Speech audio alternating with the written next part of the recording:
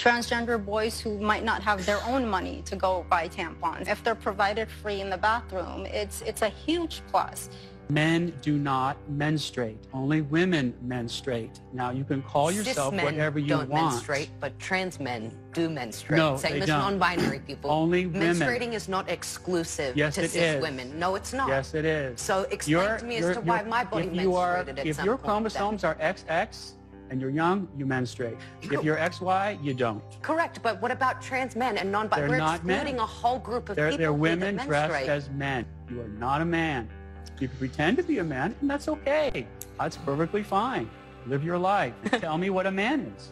Well, what's a man to you? You define a man for me. You have chromosomes that are X and Y. That's what a man is. So why are we just looking at the the the, the science of this as an The example science. when when we've learned sex and gender identity are two very they're completely different things. They're not completely different. They are things. completely different. completely different words.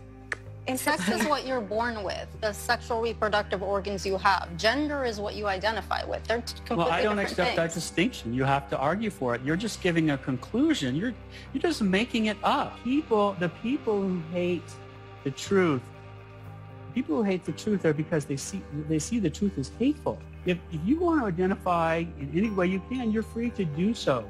But that does not mean that the rest of us have to join that illusion. You disagree, I disagree with you, and so you call it hate. But there's no hate in my heart at all. So that's You wrong. are being hateful when you tell somebody that identifies Okay. as a man that they're not a man. That's not That is hateful. That's a fact.